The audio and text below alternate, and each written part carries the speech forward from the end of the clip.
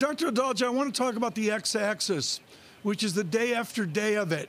If we day after day after day do vaccines in America, in the United Kingdom, wherever, is it a linear path to success or does it build on itself and really get some good constructive acceleration? I, I, do think it builds on itself because what happens is you'll start to have parts of the population immune, and that makes it much more difficult for the virus to spread. So when you've got a population that is 100% susceptible, moving from 70 to 50 or whatever combination that is, that's going to make it harder. So I do think we will start to see benefits, even um, uh, with the hospitalizations, actually, especially because of the hospitalizations, because many of the people that are the early vaccinees are people who live in nursing homes, people that are hmm. elderly, that have high risk conditions. And that's really what's driving hospitalizations and has been from the beginning. So I do think we'll see a respite in the hospitals. Uh, all of this is really contingent on us moving fast, though. We don't want that South African or Brazilian variant, which, which may be a little bit more difficult to deal with, to really take hold here. So we've got to accelerate significantly and keep ahead of it. We are getting better statistics, even in New York, folks. I saw a headline of better statistics on cases, deaths, on hospitalizations. Is it a pause before a wave, or can you say there's true hope in the goodness of these statistics? It's definitely a sustained uh, trend that we're seeing, that this wasn't a fluke of reporting, which is initially what many of us were worried about. But the, the thing is that it, it's it's tenuous because we've got these variants like the South African and Brazilian specifically, which are more contagious and may pose problems for not only vaccine immunity but natural immunity. And, and the the the goal the vaccine works well against those. They will be in terms of preventing serious disease, preventing hospitalization, preventing death, but it doesn't seem to be as effective at preventing infection. So we've got to stay ahead of that, or you will see cases rise because those the variants that are more contagious just by natural Darwinian principles are going to come to dominate eventually. So that's why we've got this this window to really, really go forward with no speed limit and get as many vaccines into people's arms to, to keep those away from here. How many variants could we see from now until year end? It's it's impossible to count because this virus has been making new variants all the time. It's just that only a few of them reach the level where they're garnering headlines, and those are the ones that change the function of the virus. And most variants, most mutations don't.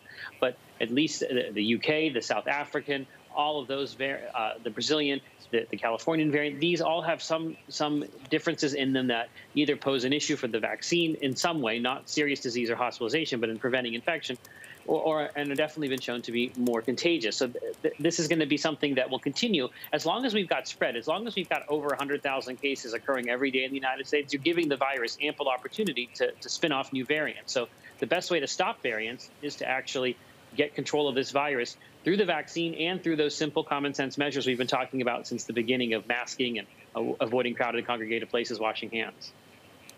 Uh, Dr. Adalja, we're just getting some breaking news out of Pfizer. This is not a vaccine trial, it's just earnings per share fourth quarter. I believe that a lot of these vaccine producers are actually selling the vaccine at cost. So, uh, you know, the fact that they're rolling it out doesn't shouldn't make that much of a difference on the quarter. Uh, what I'm confused about, Dr. Adalja, is that I can't really make out what's scientific evidence and what's mudslinging amongst European um, world leaders, right? So we had France saying that the UK is now reckless. They say, you know, they're taking a jab at way that the UK is proceeding, which means that you get a Pfizer vaccine, but you have to wait 10 to 12 weeks to get the second jab.